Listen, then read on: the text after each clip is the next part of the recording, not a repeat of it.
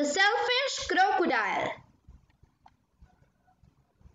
Deep in the forest in the river lived a large crocodile. He was a very selfish crocodile. He didn't want any other creatures to drink or bath in the river. He thought it was his river.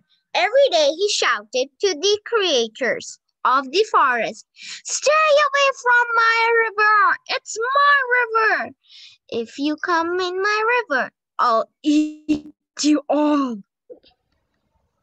So there were no fish, no tadpoles, no frogs, no crabs, no crayfish in the river.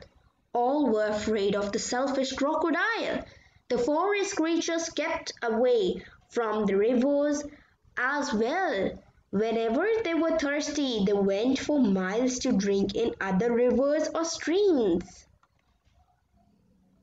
Every day the crocodile lay on his on his great big back in the sun, picking his big sharp teeth with a stick.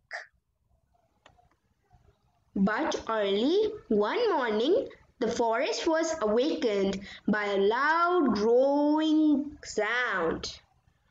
Something was in terrible pain. The creatures thought that it was an animal caught by the crocodile.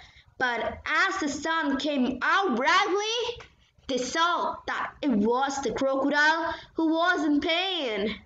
He was lying on his big back, holding his swollen jaw, and was crying real tears. The end.